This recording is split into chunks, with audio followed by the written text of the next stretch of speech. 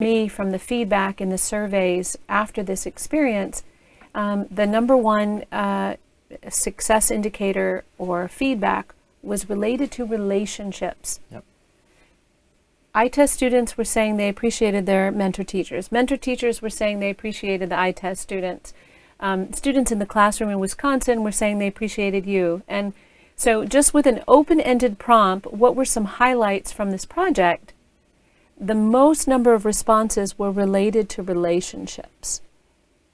And um, I thought, wow, we're in a virtual platform and still the most important feedback is about relationships. Um, what are your thoughts about that? Uh, I would like to say that there was genuine interest, I think. Uh, so I started emailing my mentor teacher before actually the internship started. Mm. And we started sending videos of it's snowing here and it's snowing in Wisconsin, you know. And uh, when I was introducing myself, the teacher emphasized that I should introduce also where I'm from, my background, because he wants the students to actually learn and be exposed to new things. And I think there was genuine interest in, you know, the both places and backgrounds and mm. just learn